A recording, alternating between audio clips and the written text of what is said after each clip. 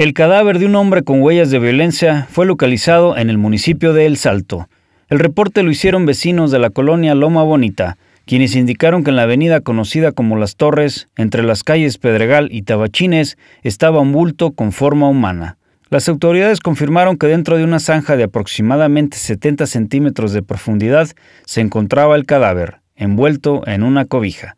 Para Noticel.mx, Luis Enrique Sánchez.